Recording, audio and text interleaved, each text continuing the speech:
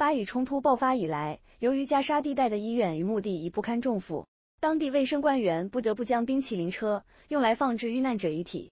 加沙地带一间医院的医生透露，太平间只能容纳十具遗体，因此不得不从当地冰淇淋工厂引进冷冻食品车来储存。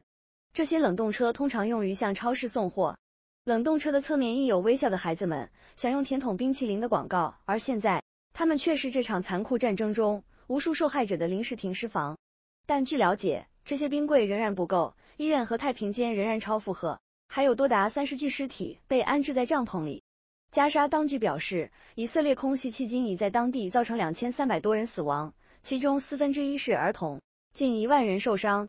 这次空袭是以色列为了报复哈马斯十月七日发动的袭击。以色列称袭击造成一千三百多人死亡。